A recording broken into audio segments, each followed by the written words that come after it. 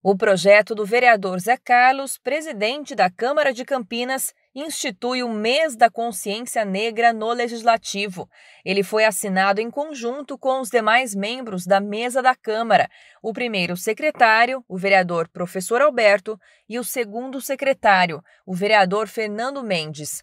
O objetivo, segundo o texto, é conscientizar e sensibilizar a população de Campinas quanto à importância do tema, por meio de ações e atividades a serem desenvolvidas na casa.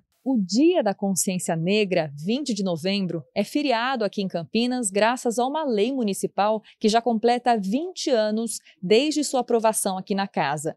O que o vereador Zé Carlos protocolou agora é um projeto de resolução que, como o próprio nome prevê dentro dos trâmites legislativos, implica em algo diferente do que um projeto de lei, por exemplo. Ele assegura que determinado evento se repita todos os anos mas dentro da casa de leis. Infelizmente, o nosso país ainda é um país racista.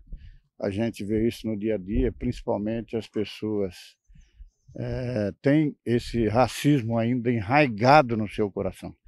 É, prova disso é o que aconteceu no, no Rio de Janeiro agora, com aquele angolês, né, que mataram é, a paulada. Isso tudo é, é, é, é, fruto desse racismo que nós temos enraigado. Então, esse projeto vem conscientizar toda a população e durante todo o mês de novembro de todos os anos nós vamos fazer é, com que o pessoal lembre é, que nós que não, não podemos ter um, um, esse, esse preconceito enraigado no nosso coração.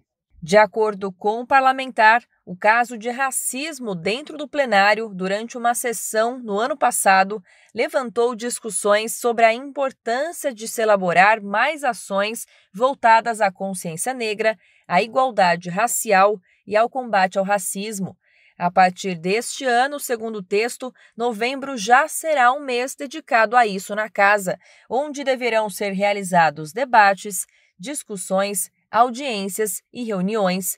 Também serão priorizadas matérias como projetos de lei, requerimentos e moções que tenham essas pautas. Seja a pessoa negra, amarela, branca, parda, todos nós somos iguais, todos nós somos filhos de Deus. E é importante que a gente, que, que o povo brasileiro tenha isso na tua consciência. O sangue que corre na minha veia é vermelho e na veia de toda a raça humana também é vermelho. Então nós temos que ter consciência é, dessa irmandade que Deus nos criou, a sua imagem e semelhança. Então esse projeto, ele vem para que a gente refresque toda vez a nossa memória no momento que a gente sinta esse problema de, de racismo no nosso coração.